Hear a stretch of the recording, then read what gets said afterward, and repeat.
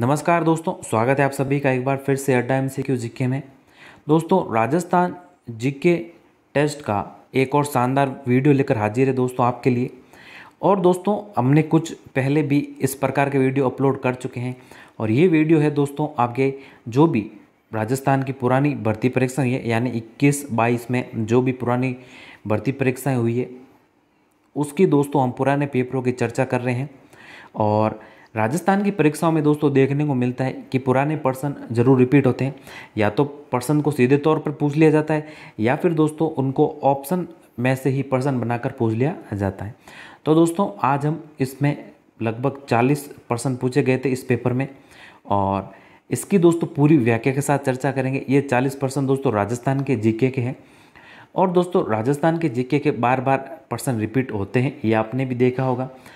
तो यकीन मानिए, ये वीडियो आपके लिए महत्वपूर्ण साबित होने वाला है। अब सबसे पहले इस पेपर की बात करें तो ये पेपर है दोस्तों, कनिष्ठ अभियंता, सिविल डिग्री धारक संयुक्त सीधी भर्ती 2022 की ये भर्ती है। और इसका एग्ज़ाम भी देखिए दोस्तों, हाल ही में अन्य अठारह पाँच दो को इसका एग्ज़ाम हुआ था। तो दोस्तों, ये पर्सन आपके लिए महत्वपूर्ण ज़रूर साबित होंगे। तो वीडियो के अंत तक बने रहिएगा और ये पेपर, जो कनिष्ठ अभियंता का पेपर है, और इसका पहला पर्सन बिना देरी के साथ शुरू करते हैं दोस्तों। तो इसका पहला प्रश्न पूछा गया, जो कि कनिष्ठ अभियंता का ये पेपर है। इसमें पहला प्रश्न है दोस्तों कि निम्नलिखित में से कौन सा प्राचीन स्थल या फिर उत्खननकर्ता सुमिलित नहीं है। तो दोस्तों, यहाँ पर तो देर के, यहाँ पर प्राचीन स्थल, या फिर दोस्तों, ये जो सभ्यता है, ये, और यहाँ पर देर के दोस्तों उत्खनन करता तो बैराट के उत्खननकर्ता दयाराम साहनी है। तो ये तो दोस्तों सुमेलित है तो पहला ए ऑप्शन तो सही है। हमें क्या पूछा है कि सुमेलित कौन सा नहीं है? दूसरा दोस्तों आहड़ आहड़ के दोस्तों एस पी जैन उत्खनन करता नहीं है तो बी ऑप्शन ही इसका राइट आंसर हो जाएगा। यही दोस्तों सुमिलित नहीं है और कालीबंगा की अमलानंद घोष उत्खनन करता है, ये सुमिलित है। बागोर के वी एन मिश्रा, ये भी दोस्तों सुमिलित है। अब दोस्तों आहड़ की बात करें तो आहड़ का उत्खनन दोस्तों तीन बार हुआ। सबसे पहले बात करें तो सबसे पहले इसका उत्खनन दोस्तों उन्नीस में।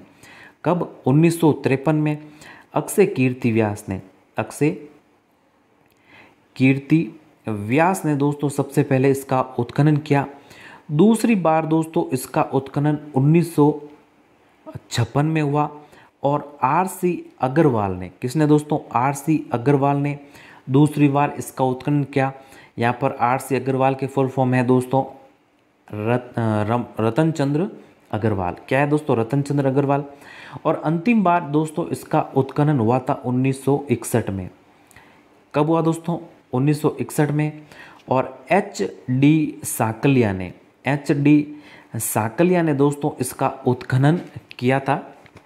अंतिम बार। तो तीसरी बार इसका उत्खनन किया गया एच डी साकलिया द्वारा। तो दोस्तों, इन तीनों को याद रखिएगा। सर्वप्रथम इसका उत्खनन उन्नीस सौ तिरपन में अक्षय कीर्ति व्यास द्वारा। आर्ट का उत्खनन दोस्तों। दूसरी बार इसका उत्खनन उन्नीस सौ छप्पन है यहाँ पर दोस्तों, उन्नीस सौ छप्पन में आर सी अग्रवाल द्वारा। और तीसरी बार दोस्तों और अंतिम बार इसका उत्खनन उन्नीस सौ इकसठ में एच डी सांकलिया द्वारा उत्खनन किया गया। तो बी ऑप्शन हो जाएगा हमारे पहले का सही उत्तर। इन सभी के बारे में दोस्तों आप ध्यान रखिएगा। अब दूसरा प्रश्न दे रखा है दोस्तों कि राजस्थान में सुरक्षित, रक्षित वनों का प्रतिशत कितना है? अब दोस्तों, राजस्थान की बात करें तो यहाँ पर तो जो R S M, S S B board है, उन्होंने दोस्तों इसका सही उत्तर माना है चौपन दशमलव तैतीस प्रतिशत। क्या माना दोस्तों? चौपन दशमलव तैंतीस प्रतिशत, यानी कि ए ऑप्शन इसका सही उत्तर माना है। लेकिन दोस्तों, वन रिपोर्ट वन रिपोर्ट 2021 की बात करें क्योंकि ये दोस्तों, हर दो सालों में ये रिपोर्ट अपडेट होती रहती है, वन रिपोर्ट। और दोस्तों 21 की बात करें, वन रिपोर्ट की तो दोस्तों, यहाँ पर जो रक्षित या सुरक्षित वन है, उनका प्रतिशत कितना है दोस्तों राजस्थान में? छप्पन दशमलव चार नौ प्रतिशत। कितना है दोस्तों? छप्पन दशमलव चार नौ प्रतिशत। ये है किसका? रक्षित वनों का। और आरक्षित वनों की बात करें दोस्तों, किसकी? आरक्षित वनों की। ये दोस्तों है रिपोर्ट आपके 2021 की और यहाँ पर आई बटन पर क्लिक करके दोस्तों, वन रिपोर्ट 2021 के बारे में जितने भी पर्सन बनते हैं, आप आई बटन पर क्लिक कर कर अभी आपको आई बटन दिख रहा होगा। उसमें जाकर दोस्तों, आप वन रिपोर्ट 2021 के पर्सन जितने भी है, वो आप देख सकते हैं और करंट की दृष्टि से ये आपके लिए महत्वपूर्ण साबित होंगे। तो आई बटन पर आप क्लिक करके इसको देख सकते हैं। अब दोस्तों, आरक्षित वनों की बात करें तो आरक्षित वनों का प्रतिशत सैंतीस दशमलव ज़ीरो पाँच प्रतिशत है। और जो अवर्गीकृत वन है, कौन से? अवर्गीकृत वन है, उनका प्रतिशत है दोस्तों छः दशमलव चार छः प्रतिशत। कितना है? छः दशमलव चार छः प्रतिशत। तो ए ऑप्शन, इसका सही उत्तर माना है R S M S S B board ने। लेकिन दोस्तों, जो आरक्षित वन है 2000 सॉरी, सुरक्षित वन है, या वन 2021 की रिपोर्ट के अनुसार वो है दोस्तों छप्पन दशमलव चार नौ प्रतिशत। अब चलते हैं दोस्तों अगले तीसरे प्रश्न की ओर। तीसरा प्रश्न है कि निम्नलिखित में से कौन सी स्थलाकृति अरावली श्रृंखला में अवस्थित नहीं है? तो इनमें से कौन सी स्थलाकृति है जो अरावली श्रृंखला में अवस्थित नहीं है? ये है दोस्तों कौन सी मुकुंदरा की पहाड़ियाँ। तो मुकुंदरा की पहाड़ियाँ दोस्तों अरावली में अवस्थित नहीं है। और बाकी दोस्तों भोराट पठार, लसाड़िया पठार और गिरवा पहाड़िया, ये सभी दोस्तों अरावली श्रृंखला में अवस्थित है तो बी ऑप्शन इसका सही उत्तर है। अगला है दोस्तों चौथा प्रश्न कि निम्नलिखित में से कौन सा पर्यटन स्थल जिला सुमेलित नहीं के बारे में पूछा है दोस्तों? तो यहाँ पर तो देर के पर्यटन स्थल और यहाँ पर देर के दोस्तों जिला। तो फूल सागर है, वो बूंदी में है तो ये तो सुमेलित है। पांडुपोल ये अलवर में ये भी सुमिलित है किराड़ू मंदिर ये झालावाड़ में नहीं है।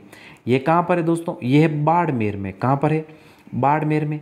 तो ऑप्शन सी ही सही सुमिलित नहीं है, यानी इसका सही उत्तर है ऑप्शन सी। बाकी अंतिम है ऑप्शन जो हमारे चंद्र महल ये जयपुर में तो ये भी सुमिलित है।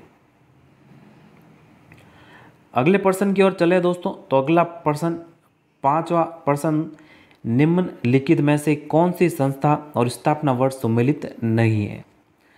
अब दोस्तों, यहाँ पर जो सुमिलित नहीं है, उसके बारे में हमें बताना है। तो नरेंद्र मंडल की स्थापना 1921 में, राजस्थान सेवा संघ 1919 में, और मारवाड़ हितकारिणी सभा की 1923 में नहीं, इसकी स्थापना 1921 में। कब हुई थी? 1921 में मारवाड़ हितकारिणी सभा की स्थापना हुई थी। और इसकी स्थापना दोस्तों चांदमल सुराणा ने, किसने? चांदमल सुराणा ने दोस्तों इसकी स्थापना की थी कब? 1921 में। तो ऑप्शन सी है इसका सही उत्तर। बाकी अखिल भारतीय देशी राज्य लोक परिषद इसकी स्थापना 1927 में हुई थी। तो इसका सही उत्तर होगा दोस्तों ऑप्शन सी। अब अगला है दोस्तों छठा प्रश्न हमारे कि अनुच्छेद 243 फर्म में क्या वर्णित है? तो ये पॉलिटी का प्रश्न दोस्तों, कि अनुच्छेद 100 सॉरी 243 है, इसमें क्या वर्णित है? या फिर 200 ये तैयलीस वी में दोस्तों क्या वर्णित है? हिंदी में दो आपके फ दे रखा है, लेकिन आपने इंग्लिश में पढ़ा होगा तो यहाँ पर इंग्लिश में भी दोस्तों दे रखा है, जो दो वी है, इसमें क्या वर्णित है? तो दोस्तों, दो वी में किसका वर्णन है? ये दोस्तों नगर पालिका सदस्यता के लिए जो भी नियरता है, उसका वर्णन है दोस्तों दो आई में। किसमें? दो एफ़ या फिर दोस्तों दो आई में। तो ऑप्शन डी इसका सही उत्तर है। अगला सात नंबर प्रश्न है कि निम्नलिखित में से किस दुर्ग को राजस्थान का वेल्लोर कहते हैं? तो इंपॉर्टेंट प्रश्न दोस्तों कई बार पूछा गया, यह प्रश्न है। तो राजस्थान का वेल्लोर कहा जाता है दोस्तों? भैंसरोडगढ़ को किसको कहा जाता है? भैंसरोडगढ़ को ऑप्शन सी होगा इसका सही उत्तर। अगला है दोस्तों हमारे आठ नंबर प्रश्न तो ये थोड़ा करंट की दर्शित से प्रश्न है दोस्तों। इंपॉर्टेंट भी है। पूछा जा सकता है कि इकतीस मार्च 2022 को राजस्थान में सड़कों की कुल लंबाई थी। तो दोस्तों 31 मार्च 2022 को राजस्थान में सड़कों की लंबाई थी कितनी दोस्तों?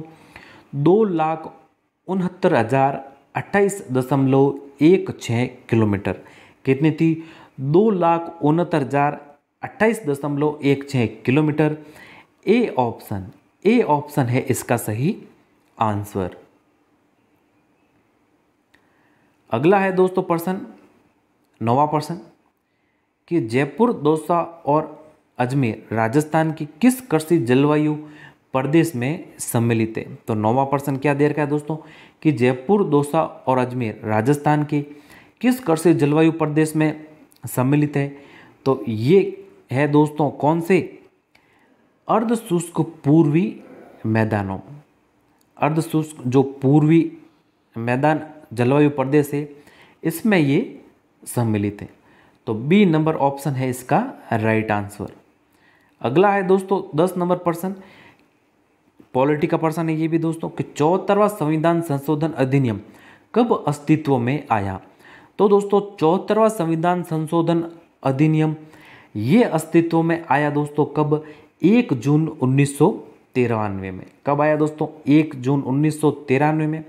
और दोस्तों, इसमें जो शहरी निकाय, उनकी संरचनाओं के कार्यों का उल्लेख है चौहत्तरा संशोधन में। तो ए नंबर ऑप्शन है इसका राइट आंसर दसवें पर्सन का। अगला दोस्तों, ग्यारह नंबर पर्सन हमारे पूछा कि बूंदी की कजली तीज त्यौहार मनाया जाता है। एक पर्सन और बनता है दोस्तों इसी पर्सन से कि जो कजली तीज है, वो कहाँ की प्रसिद्ध है? तो वो तो प्रसिद्ध है कहाँ की दोस्तों? बूंदी की। कहाँ की? बूंदी की। और जो कजली तीज है, वो कब मनाया जाता है या फिर कब आती है? ये आती है दोस्तों भाद्रपद कृष्ण तृतीया को। कब आती है? भाद्रपद कृष्ण तृतीया को। ऑप्शन बी है इसका राइट आंसर। अगला बारह नंबर प्रश्न है दोस्तों, कि दुगारी किले की चित्रकला संबंधित है। तो दोस्तों, दुगारी किले की चित्रकला किससे संबंधित है? ये बूंदी शैली से। किससे है दोस्तों? बूंदी शैली से। ऑप्शन बी इसका राइट आंसर है।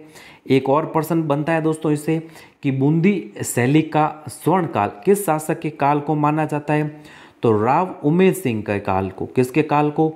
राव उमेश सिंह के काल को बूंदी शैली का स्वर्ण काल माना जाता है। अगला प्रश्न है दोस्तों, तेरह नंबर प्रश्न, कि परवन निवाज और आहू सहायक नदियाँ हैं। तो परवन निवाज और आहू दोस्तों, किसकी सहायक नदियाँ हैं? ये है काली सिंध की। किसकी? काली सिंध की। ए नंबर ऑप्शन इसका राइट आंसर है। अगला चौदह नंबर प्रश्न है दोस्तों कि भेड़ की खैरी नस्ल पाई जाती है। तो दोस्तों, भेड़ की खैरी नस्ल ये पाई जाती है जोधपुर, नागौर और पाली में। कहाँ पर दोस्तों? जोधपुर, नागौर और पाली में। ऑप्शन नंबर बी इसका राइट आंसर है चौदह नंबर प्रश्न का। अगला है दोस्तों, पंद्रह नंबर प्रश्न निम्नलिखित युगों में से कौन सा लोक देवी प्रमुख मंदिर असंगत युग्म है? अब दोस्तों, पिछले कुछ वीडियो में और इस वीडियो में आपने देखा होगा कि ये जो हमारे देर का असंगत या कौन सा सुमिलित नहीं है, इस प्रकार के दोस्तों ज़्यादा प्रश्न उठाता है R S M S S B board. R S M S S B board दोस्तों इस प्रकार के ज़्यादा प्रश्न बनाता है कि इनमें से कौन सा सुमिलित नहीं है या कौन सा असंगत युग में है। आपने देखा होगा दोस्तों, इसमें भी आपको अनेक से प्रश्न देखने को मिलेंगे और पिछले कुछ वीडियो हमने जो अपलोड किए हैं, उनमें भी दोस्तों आपको इस प्रकार के प्रश्न देखने को ज़रूर मिले होंगे। तो इस पर हमें ज़्यादा ध्यान देना है कि इस प्रकार के प्रश्न दोस्तों बार बार ये रिपीट ज़रूर होते हैं तो इस प्रकार के प्रश्नों को हमें ज़्यादा फोकस करना है। हमारे प्रश्न की ओर आते हैं तो यहाँ पर तो दे रखा क्या दोस्तों, जो लोक देवी है उनको, और यहाँ पर दे रखा दोस्तों इनके प्रमुख मंदिर ये कहाँ पर है, और इनमें से हमें बताने कि कौन सा युग्म है जो असंगत है। तो ब्राह्मणी माता का प्रमुख मंदिर दोस्तों सौरसन बारह में है तो ये तो सुमिलित है। नारायणी माता का मंदिर दोस्तों राजगढ़ अलवर में, ये भी सुमिलित है आवरी माता का मंदिर दोस्तों आपके असावरा चित्तौड़गढ़ में है, ये भी सुमिलित है जिलानी माता का मंदिर, ये दोस्तों सुमेलित नहीं है। ये दोस्तों जसोल में नहीं है तो जिलानी माता का जो मंदिर है, ये दोस्तों बहर रोड, कहाँ पर? बहर रोड, जो कि दोस्तों अलवर ज़िले में आता है। कहाँ पर? अलवर ज़िले में। तो ये जिलानी माता का मंदिर बहर रोड अलवर में है। कहाँ पर है? बहर रोड अलवर में ऑप्शन डी है इसका राइट आंसर। अगला सोलह नंबर प्रश्न है दोस्तों कि निम्नलिखित में से कौन सा आभूषण राजस्थान में स्त्रियों द्वारा गले में नहीं पहना जाता है? इंपॉर्टेंट प्रश्न है दोस्तों, आभूषण से संबंधित।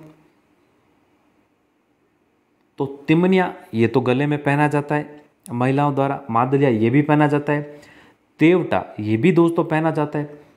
ओगनिया, ये दोस्तों गले में नहीं पहना जाता है तो ये कान में पहना जाता है। कहाँ पर दोस्तों? कान में। ओगनिया नामक आभूषण दोस्तों कान में पहना जाता है, ना कि गले में। अगला है दोस्तों सत्रह नंबर पर्सन और मोस्ट इम्पोर्टेंट पर्सन है दोस्तों, लोकगीत से संबंधित पर्सन है कि जो जोरावा लोकगीत है, इसका संबंध है। यहाँ पर ज़िले दे रखे हैं दोस्तों। तो जो जोरावा गीत है, वो किस ज़िले से संबंधित है? ये है दोस्तों हमारे जैसलमेर ज़िले से। किससे दोस्तों? जैसलमेर ज़िले से। ऑप्शन बी इसका राइट आंसर है। अब ये जोरावा गीत दोस्तों कब गाया जाता है?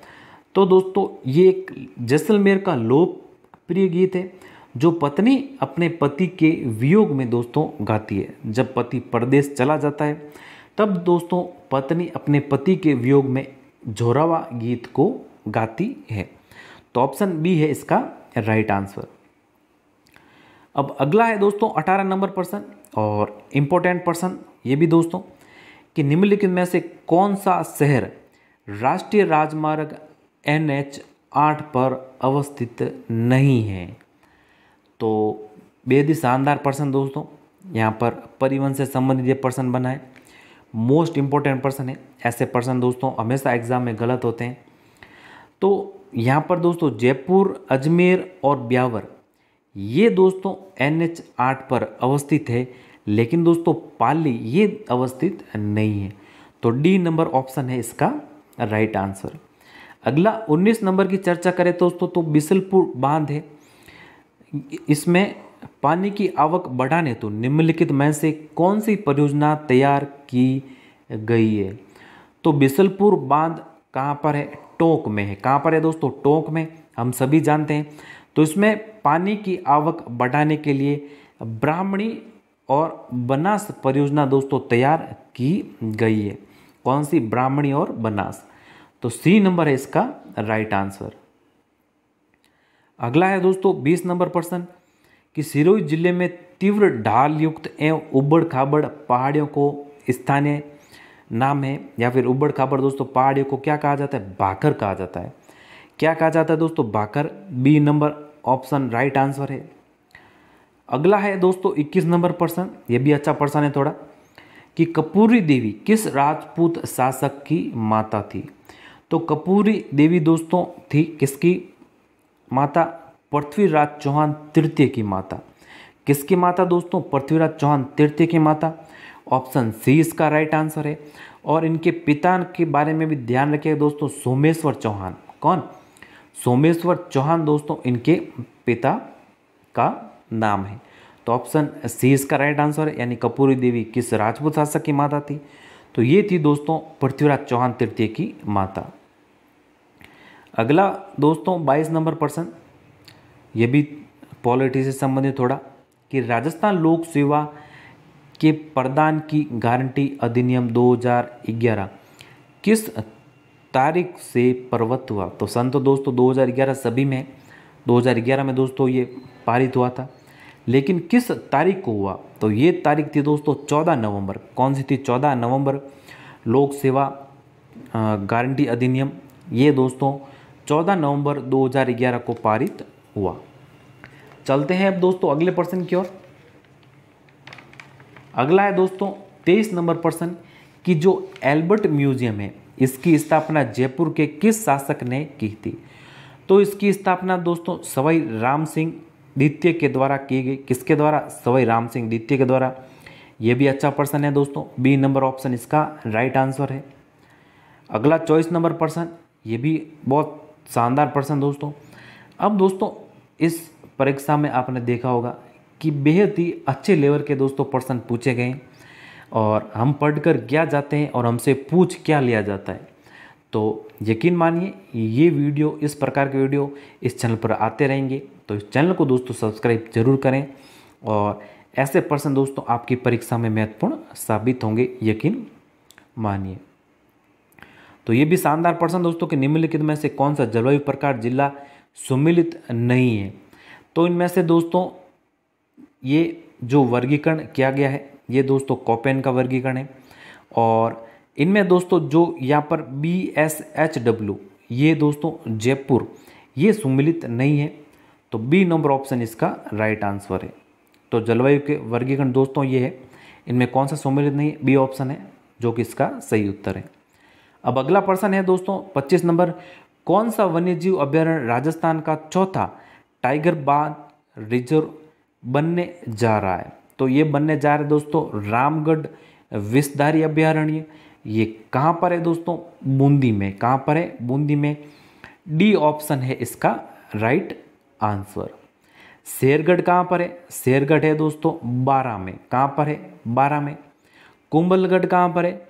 कुंभलगढ़ है दोस्तों राजसमंद में। कहाँ पर है? राजसमंद में। सज्जनगढ़ कहाँ पर है? सज्जनगढ़ है दोस्तों, उदयपुर में। तो इनके बारे में भी ध्यान रखिएगा। इनसे भी दोस्तों पर्सन आपके बन सकता है एग्ज़ाम में। तो इसका सही उत्तर था दोस्तों ऑप्शन डी, रामगढ़ विस्तारी अभ्यारण्य। ये बनने जा रहा है राजस्थान का चौथा टाइगर रिज़र्व, और ये है दोस्तों बूंदी में। अगला है छब्बीस नंबर पर्सन कि राजस्थान के किन जिलों में अमेरिकन कपास का उत्पादन होता है? तो ये उत्पादन होता है दोस्तों गंगानगर और बांसवाड़ा में। एक चीज़ ध्यान रखें दोस्तों, कपास का जो सर्वाधिक उत्पादन है, वो गंगानगर में ही होता है। तो गंगानगर आपको ऑप्शन दिखे और कपास दिखे दोस्तों तो गंगानगर को आप आँख बंद करके गंगानगर पर आप राइट लगा सकते हैं। तो ए ऑप्शन है इसका राइट आंसर अगला है दोस्तों हमारे पर्सन सत्ताईस नंबर पर्सन कि दादू पंथ में सत्संग स्थल कहलाता है। तो दोस्तों दादू पंथ में जो संत थे दादू जी इनका जो सत्संग स्थल है, ये कहलाता है दोस्तों अलग दरीबा। कौन सा अलग दरीबा? ऑप्शन बी इसका राइट आंसर है। एक चीज़ और ध्यान रखिएगा कि दादू जी का जो जन्म हुआ था, वो दोस्तों अहमदाबाद में हुआ था। कहाँ पर? अहमदाबाद में अगर पर्सन बने कि राजस्थान के ऐसे कौन से संत जिनका जन्म राजस्थान से बाहर हुआ तो ये दोस्तों दादू जी तो इस प्रकार के प्रश्न भी दोस्तों बन सकते हैं। इसको भी आप थोड़ा ध्यान में रखिएगा। तो और दादू जी के जो सत्संग स्थल है, इनको कहा जाता है अलग दरीबा। बी नंबर इसका राइट आंसर है। अगला है दोस्तों, अट्ठाईस नंबर पर्सन चिकनी कोतली क्या है? बेहद ही शानदार पर्सन दोस्तों। ये हमारे जो रीति रिवाज है, उनसे ये पर्सन बना है। तो दोस्तों, सबसे पहले पर्सन बनता है कि चिकनी कोतली होती क्या है? यहाँ पर तो दोस्तों आपके ऑप्शन में क्या दे रखा है? शादी की जो ये एक है, रस्म है। क्या है दोस्तों? शादी की एक रस्म है। तो यहाँ पर बी ऑप्शन इसका राइट आंसर है। सबसे जो पर्सन अच्छा बनता है, वो है कि चिकनी कोतली क्या है? तो चिकनी कोतली दोस्तों, जो मुख्यतः आपके जो पश्चिमी ज़िले हैं, इसमें ये एक प्रकार की दोस्तों रीति है, जो कि शादी की एक रस्म है। इसमें दोस्तों जब शादी के पश्चात, जब वर पहली बार ससुराल जाता है। तब दोस्तों ससुराल जाने पर उनको दोस्तों, यानी वर को मिठाई या फिर दोस्तों मीठा भेंट किया जाता है। इसी को दोस्तों चिकनी कोतली कहा जाता है। अब यहाँ पर चिकने का अर्थ कैसे हुआ दोस्तों? घी से। यानी ऐसी मिठाई जो घी से बनी हुई होती है। जब वर पहली बार ससुराल जाता है तो उसको दोस्तों जो घी से बनी हुई मिठाई या जो भी मीठा पकवान होता है, वो दोस्तों भेंट स्वरूप प्रदान किया जाता है। तो इसी को चिकनी कोतली कहा जाता है। तो बी नंबर ऑप्शन है हमारे इसका राइट आंसर और ये मुख्यतः दोस्तों जो पश्चिमी ज़िले हैं हमारे राजस्थान के, उसमें ये दोस्तों प्रचलित रस्म है। अगला है दोस्तों हमारे उनतीस नंबर प्रश्न कि हूँ गोरी किण पीवरी उपन्यास के रचयिता। बेहद ही शानदार प्रश्न ये भी दोस्तों। ये रचना है दोस्तों यागवेंद्र शर्मा चंद्र की। किसकी रचना है? यागवेंद्र शर्मा चंद्र की। बी नंबर है इसका सही उत्तर। अगला दोस्तों तीस नंबर प्रश्न है कि पूर्व पश्चिम गलियारा किस ज़िले से होकर नहीं गुजरता है? ये भी अच्छा प्रश्न है दोस्तों। ये भी स्टार लगाने लायक प्रश्न है। तो दोस्तों सबसे पहले बात करें पूर्व पश्चिम गलियारे की। तो ये दोस्तों राजस्थान के सात जिलों से होकर गुजरता है। कितने जिलों से दोस्तों?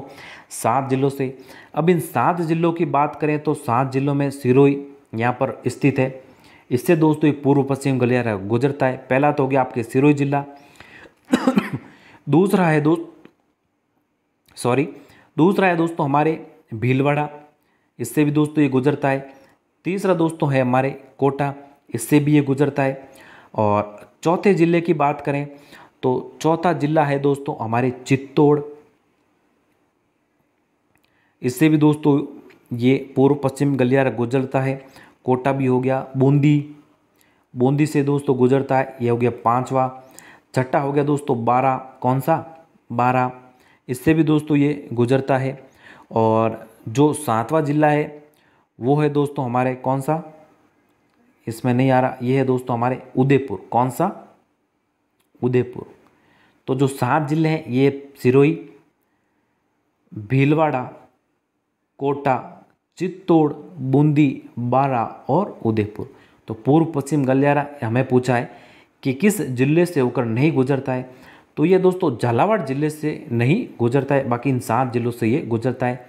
इनको भी थोड़ा ध्यान में रखिएगा। इनसे भी आपको घुमा फिरा के प्रश्न पूछ सकते हैं। तो डी नंबर ऑप्शन है इसका राइट आंसर यानी झालावाड़ से पूर्व पश्चिम गलियारा नहीं गुजरता है। मुख्यतः इन सात जिलों से ये गुजरता है। अगला है दोस्तों इकतीस नंबर प्रश्न कि सुमेल का युद्ध कब लड़ा गया था? अब सुमेल और दोस्तों या फिर सुमेल गिरी भी कहते हैं इसे। सुमेल गिरी का युद्ध ये कब लड़ा गया था? तो ये लड़ा गया था दोस्तों सन पंद्रह ईस्वी में। कब लड़ा गया? पंद्रह ईस्वी में। किन किन के मध्य लड़ा गया? मारवाड़ के शासक मालदेव राठौड़ और दोस्तों शेरशाह सूरी के मध्य। किन के मध्य?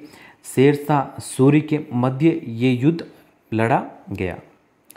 और दोस्तों जो मालदेव के सेना नायक थे, जैता और दोस्तों कुंपा। जैता और कुंपा ये थे दोस्तों मालदेव के सेना नायक इनको भी थोड़ा ध्यान में रखिएगा। और इनका संबंध है दोस्तों गिरी सुमेल के युद्ध से। और ये युद्ध कब लड़ा गया? पंद्रह ईस्वी में। तो सी नंबर ऑप्शन है इसका राइट आंसर किन के मध्य लड़ा गया? मालदेव राठौड़ और दोस्तों शेरशाह सूरी के मध्य। अब अगला है दोस्तों पर्सन बत्तीस नंबर पर्सन पॉलिटी का पर्सन ये भी अच्छा पर्सन है कि निम्नलिखित में से कौन सा धन विधेयक के संबंध में सही नहीं है। तो इनमें से दोस्तों जो विधानसभा का कोई भी सदस्य इसे पेश कर सकता है। तो ये सुमिलित नहीं है। इसे दोस्तों विधानसभा का कोई भी सदस्य पेश नहीं कर सकता। तो ये दोस्तों सही नहीं है धन विधेयक के बारे में कथन। तो डी नंबर ऑप्शन इसका सही उत्तर है। यहाँ पर दोस्तों हमें सही नहीं इसके बारे में पूछा है। ध्यान रखिएगा। जो सही नहीं कथन है वो है ऑप्शन डी। बाकी राज्यपाल की पूर्व प्रस्तुति के बाद पूर्व सॉरी, संस्तुति के बाद विधानसभा में ये प्रस्तुत किया जाता है, ये मंत्री के द्वारा पेश किया जाता है। चौदह दिन पश्चात स्वत पारित ये हो जाता है धन विधेयक। तो इसके बारे में जो असत्य कथन है, ये दोस्तों विधानसभा में इसे कोई भी सदस्य पेश कर सकता है। ये दोस्तों पेश, हर कोई सदस्य पेश नहीं कर सकता। तो डी नंबर इसका राइट आंसर है। अगला है दोस्तों प्रश्न, बेहद ये भी शानदार प्रश्न, तैतीस नंबर प्रश्न दोस्तों। कि डोंडलोत किसके लिए प्रसिद्ध है। बेहद ही अच्छा प्रश्न है दोस्तों ये भी। तो ये है दोस्तों हवेलियों एवं परंपरागत सुंदर इमारतों के लिए ये प्रसिद्ध है। तो डी नंबर है इसका सही उत्तर। अगला है दोस्तों हमारे प्रश्न पैंतीस नंबर पर्सन सॉरी चौंतीस नंबर पर्सन ये भी पॉलिटी का पर्सन है। निम्नलिखित में से कौन सा एक राज्य सूचना आयुक्त की नियुक्ति हेतु गठित समिति का सदस्य नहीं होता है। तो इनमें से दोस्तों, मुख्यमंत्री ये होते हैं, विपक्ष के नेता होते हैं, मुख्यमंत्री द्वारा निर्देशित ये कैबिनेट मंत्री ये भी होते हैं। लेकिन जो उच्च न्यायालय के न्यायाधीश है, ये दोस्तों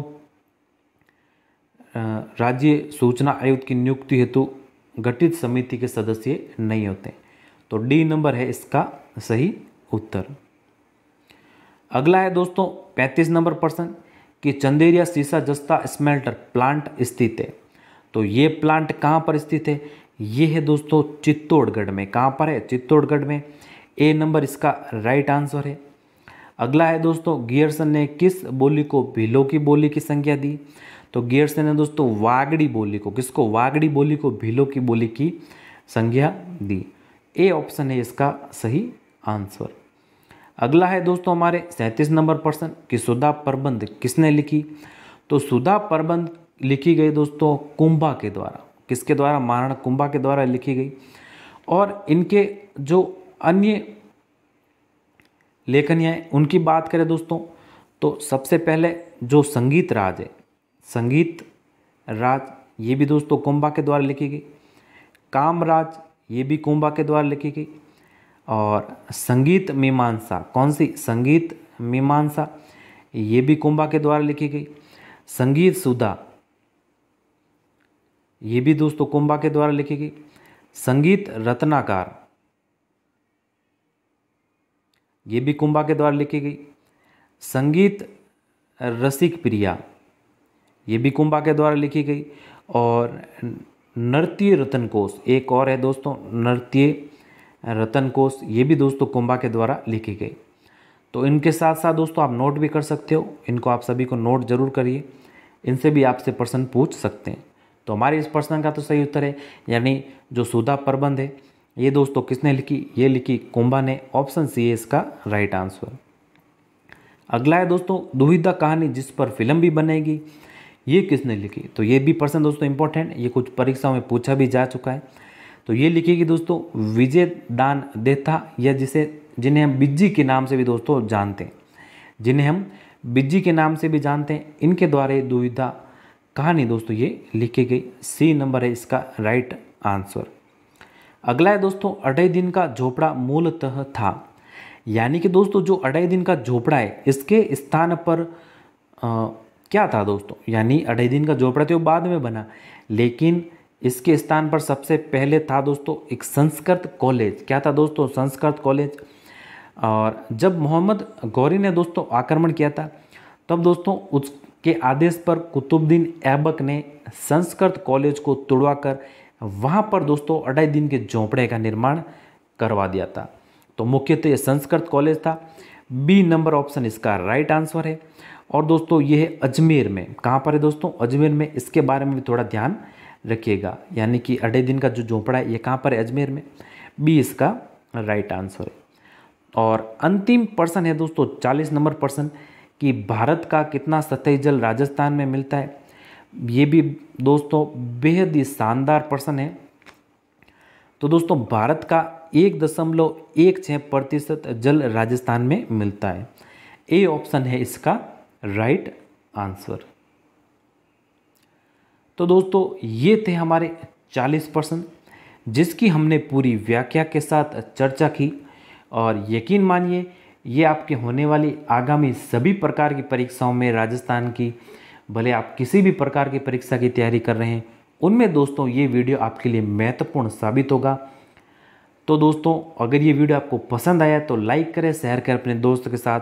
और अगर चैनल पर नए हैं और अभी तक दोस्तों आपने सब्सक्राइब नहीं किया है अभी तक दोस्तों सब्सक्राइब नहीं किया है तो दोस्तों जो लाल बटन दिख रहा है आपको, उसको सब्सक्राइब करें, यानी उसको दबाएँ, पास में स्थित बेल आइकन को भी दबाएँ, ताकि आपको नोटिफिकेशन मिलते रहे, वीडियो अपलोड होने पर, इसी प्रकार के वीडियो चैनल पर अपलोड होते रहते हैं। तो धन्यवाद, मिलते हैं कुछ ऐसे ही वीडियो में कुछ नए प्रश्नों के साथ, तब तक के लिए जय हिंद, वंदे मातरम।